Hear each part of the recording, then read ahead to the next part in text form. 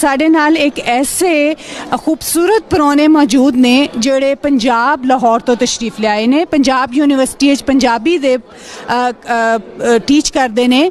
ਔਰ ਬਹੁਤ ਹੀ ਜਾਨੀ ਮਾਨੀ ਸ਼ਖਸੀਅਤ ਨੇ ਡਾਕਟਰ ਆਸਮਾ ਸਾਹਿਬਾ ਆਓ ਇਹਨਾਂ ਦੇ ਨਾਲ ਕੁਝ ਗੱਲਾਂ ਸਾਂਝੀਆਂ ਕਰਨੇ ਆ ਔਰ ਉਹਨਾਂ ਦਾ ਉਹਨਾਂ ਦੀ رائے ਲੈਣੇ ਆ ਕਿ ਉਹਨਾਂ ਨੂੰ ਇੱਥੇ ਆ ਕੇ ਕੀ ਮਹਿਸੂਸ ਹੋ ਰਿਹਾ ਹੈ ਔਰ ਪੰਜਾਬੀ ਦੇ ਬਾਰੇ ਚ ਪੰਜਾਬੀ ਲਿਟਰੇਚਰ ਔਰ ਪੰਜਾਬੀ ਦੇ ਫਿਊਚਰ ਦੇ ਹਵਾਲੇ ਨਾਲ ਨੌਜਵਾਨ ਨਸਲ ਦੇ ਹਵਾਲੇ ਨਾਲ ਸੂਫੀ ਕੰਮ ਦੇ ਹਵਾਲੇ ਨਾਲ ਉਹ ਕੀ رائے ਰੱਖਦੇ ਨੇ ਬੁਨਿਆਦੀ ਤੌਰ ਤੇ ਮੈਨੂੰ ਜੋ ਇਨਵਾਈਟ ਕੀਤਾ ਸੀ, ਉਹ ਡਾਕਟਰ ਮੀਜੀ ਨੇ ਕੀਤਾ ਸੀ, ਜੋ ਸੈਨ ਫਰਾਂਸਿਸਕੋ ਹੁੰਦੇ ਨੇ।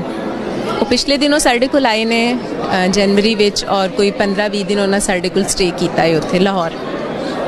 ਉਹਨਾਂ ਨਾਲ ਜੋ ਗੱਲਬਾਤ ਹੋਈ ਲਿਟਰੇਚਰ ਦੇ ਬਾਰੇ ਔਰ ਸਪੈਸ਼ਲੀ ਗੁਰਬਾਣੀ ਦੇ ਬਾਰੇ, ਤੇ ਉਹਨਾਂ ਨੇ ਕਿਹਾ ਕਿ ਮੈਂ ਚਾਹਨਾ ਵਾਂ ਕਿ ਤੁਸੀਂ ਸਾਡੇ ਕੋਲ ਆਓ। ਔਰ ਜਿਹੜੇ ਸਾਡੇ ਉੱਥੇ ਲੋਕ ਨੇ ਸਾਰੇ, ਉਹਨਾਂ ਨਾਲ ਇਹ ਸਾਰੀਆਂ ਗੱਲਾਂ ਸਾਂਝੀਆਂ ਕਰੋ।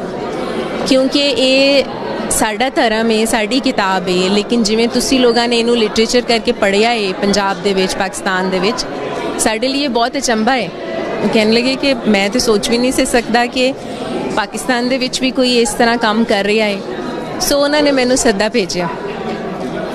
ਤੇ ਉਸ ਹਵਾਲੇ ਦੇ ਨਾਲ ਪੰਥ ਕਰਨ ਦਾ ਬਣਾ ਲਿਆ ਮਨ ਕਿ ਠੀਕ ਹੈ ਤੇ ਮੈਂ ਕੈਲੀਫੋਰਨੀਆ ਯੂਨੀਵਰਸਿਟੀ ਕੰਮ ਕੀਤਾ ਸੀ ਜੀ ਕੁਝ। 2013 ਵਿੱਚ ਪ੍ਰੋਫੈਸਰ ਗੁਰਿੰਦਰ ਸਿੰਘ ਮਾਨ ਨੇ ਉਹਨਾਂ ਦੀ ਨਿਗਰਾਨੀ ਦੇ ਵਿੱਚ ਮੈਂ ਕੰਮ ਕੀਤਾ।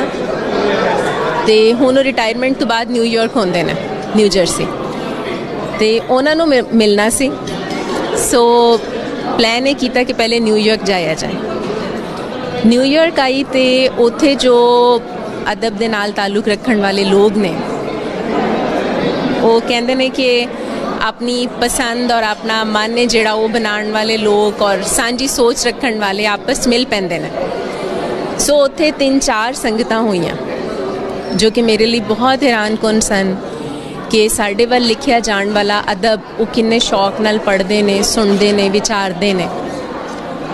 ਉਹਦੇ ਬਾਅਦ ਇੱਥੇ ਚੱਠਾ ਸਾਹਿਬ ਦੇ ਕੋਲ ਆਂਦਾ ਸਿਰਫ ਇਹ ਸੀ ਕਿ ਇਹਨਾਂ ਨਾਲ ਮੁਲਾਕਾਤ ਹੋ ਜਾਏਗੀ, ਕੋਈ ਅਸੀਂ ਨਿਆਗਰਾ ਫਾਲ ਵੇਖ ਲਵਾਂਗੇ, ਕੋਈ ਅਸੀਂ ਸੀਐਨ ਟਾਵਰ ਦੀ ਸੈਰ ਕਰ ਲਾਂਗੇ। ਤੇ ਇਹਨਾਂ ਨੇ ਦੱਸਿਆ ਕਿ ਜੀ ਅਸੀਂ ਇੱਕ ਇਕੱਠ ਰੱਖਿਆ ਤੇ 15-20 ਲੋਕ ਹੋਣਗੇ।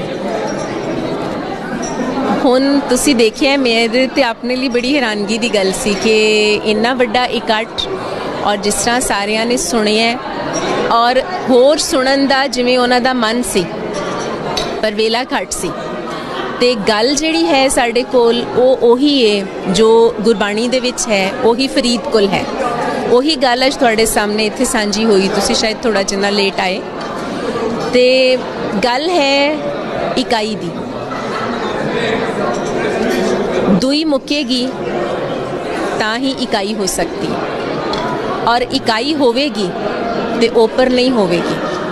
ਓਪਰ ਨਹੀਂ ਹੋਵੇਗੀ ਤੇ ਸਭ ਸਾਂਝਾ ਏ ਔਰ ਸਭ ਆਪਣਾ ਹੈ ਸੋ ਇਹੀ ਸੁਨੇਹਾ ਫਰੀਦ ਦਾ ਅਸੀਂ ਇੱਥੇ ਸਭ ਦੇ ਨਾਲ ਸਾਂਝਾ ਕੀਤਾ ਹੈ ਤੇ ਜਿਹੜੇ ਸਭ ਲੋਕ ਆਏ ਹੋਏ ਨੇ, ਜਿੰਨਾ ਉਹਨਾਂ ਨੇ ਪਸੰਦ ਕੀਤਾ ਹੈ ਔਰ ਜਿੰਨਾ ਉਹ ਹੋਰ ਸੁਣਨਾ ਚਾਹ ਰਹੇ ਨੇ, ਮੈਂ ਵੀ ਚਾਹਨੀ ਆ ਕਿ ਵੇਲਾ ਹੁੰਦਾ ਤੇ ਜ਼ਰੂਰ ਸਭ ਦੇ ਨਾਲ ਬੈਠਿਆ ਜਾਂਦਾ ਔਰ ਹੋਰ ਗੱਲਬਾਤ ਸਾਂਝੀ ਹੁੰਦੀ।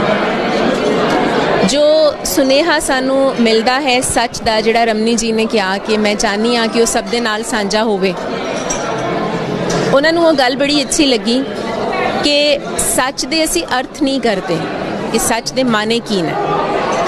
ਸਾਡੇ ਕੋਲ ਜਿਹੜਾ ਇੱਕ ਹਫਤਾਵਾਰ ਇੱਕ ਸੰਗਤ ਹੁੰਦੀ ਹੈ, ਜਿਹਦੇ ਵਿੱਚ ਅਸੀਂ ਰਲ ਕੇ ਬਹਿ ਕੇ ਪੰਜਾਬੀ ਕਲਾਸਿਕ ਨੂੰ ਔਰ ਬਾਕੀ ਸਾਰਾ ਲਿਟਰੇਚਰ ਹੈ ਜਿਹੜਾ ਪੰਜਾਬੀ ਦਾ, ਉਹਨੂੰ ਪੜ੍ਹਨੇ ਆ, ਵਿਚਾਰਨੇ ਆ, ਫਿਰ ਉਹਦੀ ਕੰਪੋਜੀਸ਼ਨ ਰਲ ਕੇ ਗਾਉਨੇ ਆ। ਉਥੇ ਸੱਚ ਦੇ ਇਹ ਵਾਲੇ ਅਰਥ ਨੇ ਜਿਹੜੇ, ਉਹ ਪੇਸ਼ ਕੀਤੇ ਗਏ। ਔਰ ਉਥੇ ਇਸ ਗੱਲ ਦੇ ਉੱਤੇ ਵਿਚਾਰ ਕੀਤਾ ਗਿਆ ਕਿ ਸੱਚ ਨਿਰਾ ਸੱਚ ਬੋਲਣ ਜਾਂ ਸੱਚ ਆਖਣ ਨਹੀਂ ਹੈ। ਸੱਚ ਦੇ ਅਰਥ ਹਨ, ਉਹ ਹਸਤੀ, ਉਹ ਹੋਂਦ, ਜੋ ਦਾਨ ਕਰਨ ਰਾਹੀਂ ਬਣਦੀ ਹੈ। ਉਹ ਸੱਚ ਹੈ। ਹੁਣ ਇਸ ਸੱਚ ਦੇ ਅਰਥ ਨੂੰ ਸਾਹਮਣੇ ਰੱਖ ਕੇ ਜਦੋਂ ਤੁਸੀਂ ਆਦ ਸੱਚ, ਜੁਗਾਦ ਸੱਚ ਪੜ੍ਹਦੇ ਹੋ, ਤੇ ਉਹਦੇ ਮਾਨੇ ਹੋਰ ਹੋ ਜਾਂਦੇ ਨੇ। ਔਰ ਜਿਉਂਦੀ ਹਮੇਸ਼ਾ ਉਹੀ ਸ਼ੈ ਵੇ ਜੋ ਦਾਨ ਕੀਤੀ ਜਾਂਦੀ ਹੈ। ਜੋ ਸਾਂਭ ਲਈ, ਜੋ ਰੱਖ ਲਈ, ਉਹ ਮੁੱਕ ਜਾਂਦੀ ਹੈ। ਸੋ ਇਹੀ ਹੈ ਛੋਟੀ ਜਿੰਨੀ ਗੱਲ ਜਿਹੜੀ ਇੰਨੇ ਨਿੱਕੇ ਜਿਹੇ ਸਮਝ ਤੁਹਾਡੇ ਨਾਲ ਸਾਂਝੀ ਕੀਤੀ ਜਾ ਸਕਦੀ ਹੈ। ਤੇ ਯਤਨ ਇਹ ਹੋਣ ਦੀ ਲੋੜ ਹੈ ਕਿ ਕੋਈ ਸਕ੍ਰਿਪਟ, ਕੋਈ ਐਸਾ ਸੌਫਟਵੇਅਰ ਬਣਾਇਆ ਜਾਏ ਜਿਹਦੇ ਨਾਲ ਕਿ ਦੋਨਾਂ ਲਿਪੀਆਂ ਨੂੰ ਆਪਸ ਦੇ ਵਿੱਚ ਉਲਟਾ ਕੇ ਪੜਿਆ ਜਾ ਸਕੇ। ਦੂਸਰੇ ਜਿੱਥੇ ਗੁਰਮੁਖੀ ਹੈ, ਉੱਥੇ ਫਾਰਸੀ ਰਸਮੁਲ ਖਤ ਜਿਹੜਾ ਸਾਡਾ ਹੈ, ਉਹਨੂੰ ਵੀ ਸ਼ਾਮਿਲ ਕੀਤਾ ਜਾਏ। ਉਹਦੇ ਨਾਲ ਇਹ ਹੈ ਕਿ ਜਿਹੜਾ ਅਦਬ ਸਾਡੇ ਵੱਲ ਲਿਖਿਆ ਜਾ ਰਿਹਾ ਹੈ, ਉਹ ਸਾਰੇ ਦੀ ਪਹੁੰਚ ਹੋ ਜਾਏਗੀ। ਜਿਹੜਾ ਬਾਕੀ ਪੰਜਾਬ ਹੈ ਤੁਹਾਡੇ ਵੱਲ, ਉਹਨਾਂ ਬੱਚਿਆਂ ਤੱਕ। ਉਹ ਪੜਨਗੇ ਉਹਨਾਂ ਨੂੰ ਪਤਾ ਲੱਗੇਗਾ ਕਿ ਸਾਡੀ ਬੋਲੀ ਨਿਰੀ ਬੋਲੀ ਨਹੀਂ ਹੈ। ਇਹ ਨਾ ਹੈ ਖਲਕਤ ਮਾੜੀ ਨਿਮਾਣੀ ਦੀ ਆਵਾਜ਼ ਦਾ, ਜਿਹਨੂੰ ਹਰ ਵਾਰੇ ਦਬਾਇਆ ਗਿਆ। ਜਿਹਨੂੰ ਖਾਕ ਆਖ ਕੇ ਪ੍ਰਚਾਰਦਾ ਏ ਫਰੀਦ ਉਹੀ ਖਾਕ ਹੈ ਫਰੀਦਾ ਖਾਕ ਨਾ ਨਿੰਦੀ ਹੈ ਖਾਕੂ ਜੇੜ ਨਾ ਕੋ ਇਹ ਉਸੇ ਖਲਕਤ ਦੀ ਆਵਾਜ਼ ਹੈ ਜਿਹਦਾ ਨਾਂ ਪੰਜਾਬੀ ਹੈ ਤੇ ਜਦੋਂ ਤੱਕ ਸਾਡੀ ਆਉਣ ਵਾਲੀ ਨਵੀਂ ਨਸਲ ਸਾਡੇ ਲੋਕ ਉਸ ਚੀਜ਼ ਤੋਂ ਜਾਣੂ ਨਹੀਂ ਹੋਣਗੇ ਕਿ ਉਹਨਾਂ ਦਾ ਆਪਣਾ ਹੈ ਕੀ ਉਦੋਂ ਤੱਕ ਉਹਦੇ ਤੇ ਮਾਣ ਨਹੀਂ ਕਰ ਸਕਦੇ ਮਾਣ ਕਰਨਗੇ ਤੇ ਉਹਨੂੰ ਪੜਨਗੇ ਮਾਣ ਕਰਨਗੇ ਤੇ ਉਹਨੂੰ ਬੋਲਣਗੇ ਮਾਣ ਕਰਨਗੇ ਤੇ ਫੇਰ ਹੀ ਉਹਨੂੰ ਸਮਝਣਗੇ ਕਿ ਇਹ ਬੋਲੀ ਆਖਦੀ ਕੀ ਹੈ ਪਈ ਔਰ ਇਹਦੇ ਵਿੱਚ ਜੋ ਆਖੀ ਹੋਈ ਗੱਲ ਹੈ ਉਹ ਕਿੱਡਾ ਵੱਡਾ ਸੱਚ ਹੈ। ਉਹ ਐਸਾ ਸੱਚ ਹੈ ਜਿਹਨੂੰ ਦਬਾਇਆ ਨਹੀਂ ਜਾ ਸਕਦਾ, ਜਿਹਨੂੰ ਰੋਕਿਆ ਨਹੀਂ ਜਾ ਸਕਦਾ। ਉਹ ਜਿੰਨਾ ਮਰਜ਼ੀ ਕਹਿ ਲੋ ਕਿ ਪੰਜਾਬੀ ਮੁੱਕਦੀ ਹੈ ਪਈ ਬੜੇ ਵਰਿਆਂ ਤੋਂ ਸੁਣਦੇ ਆ ਰਹੇ ਹਾਂ। ਮੁੱਕ ਨਹੀਂ ਸਕਦੀ, ਜਿਹਦੇ ਵਿੱਚ ਫਰੀਦ ਹੋਇਆ ਜਿਹਦੇ ਵਿੱਚ ਨਾਨਕ ਹੋਇਆ ਜਿਹਦੇ ਵਿੱਚ ਗੁਰਦਾਸ ਹੋਇਆ ਉਹ ਮੁੱਕਣ ਵਾਲੀ ਨਹੀਂ ਹੈ ਤੇ ਨਾ ਉਹ ਮੁੱਕ ਸਕਦੀ ਹੈ। ਸੂਫੀ ਕਲਚਰ ਔਰ ਪੰਜਾਬੀ ਦੇ ਵਿੱਚ ਸੂਫੀਜ਼ਮ ਇਹਦੇ ਬਾਰੇ ਤੁਸੀਂ ਕੀ ਕਹਿਣਾ ਚਾਹੋਗੇ?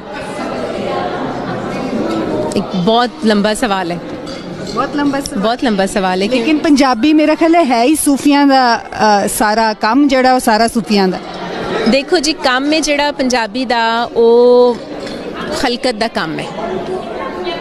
ਪੰਜਾਬੀ ਦਾ ਸਾਰਾ ਕੰਮ ਖਲਕਤ ਦਾ ਕੰਮ ਹੈ। ਤੇ ਉਹਦੇ ਲਈ ਮੈਂ ਤੁਹਾਨੂੰ ਛੋਟੀ ਜਿਹੀ ਇੱਕ ਨਜ਼ਮ ਸੁਣਾ ਦੇਣੀ ਆ। ਉਹਦੇ ਨਾਲ ਜੇ ਗੱਲ ਪਹੁੰਚ ਜਾਏ ਤੇ ਠੀਕ ਹੈ। ਨਜਮ ਹੁਸੈਨ ਸੈਯਦ ਹੋਰਾਂ ਦੀ ਲਿਖੀ ਹੋਈ ਨਜ਼ਮ ਹੈ। ਜੋੜ ਖਾਕ ਦਾ ਰਾਗ। ਖਾਕ ਮਿੱਟੀ ਹੈ। ਜੋੜ ਖਾਕ ਦਾ ਰਾਗ। ਖਾਕ ਉਪਾਵਣ ਹਾਰ। ਪੈਰਾਂ ਪਰਨ ਖਲਾਰਨ ਹਾਰ। ਮਲ ਪਾ ਪੋਸ਼ਾਂ ਹੇਠ ਦਲੇਂਦੀ। ਮਲ ਪਾ ਪੋਸ਼ਾਂ ਹੇਠ ਦਲੇਂਦੀ। ਜੁਗ ਜੁਗ ਉੱਪਰ ਹੋਣੀ।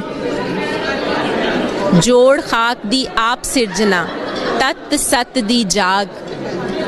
ਜੋੜ ਫਰੀਦੀ ਨਾਨਕੀ, ਜੋੜ ਹੁਸੈਨੀ, ਸਚਲ ਲਤੀਫੀ ਬੁੱਲੇ ਸ਼ਾਹੀ। ਖਾਕ ਹੋ ਉਸਰੇ, ਨਾਮ ਹੋ ਨਿਸਰੇ। ਖਾਕ ਹੋ ਉਸਰੇ, ਨਾਮ ਹੋ ਨਿਸਰੇ, ਜਿਉ ਜੀ ਵਰਤਾਵੇ ਖਾਕ ਦੇ ਭਾਗ, ਜੋੜ ਖਾਕ ਦਾ ਰਾਗ। Number one multicultural channel. This is Tag TV.